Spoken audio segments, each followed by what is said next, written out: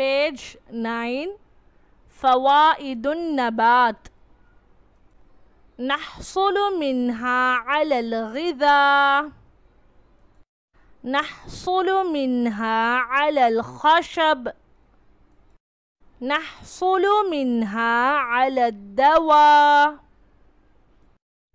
نستظل بها نشم منها رائحة طيبة. Page 11 الجذور التي نأكلها. جزر. فجل. الأوراق التي نأكلها. كزبرة. سبانخ. خس الثمار التي نأكلها. موز برتقال تفاح. الساق الذي نأكله.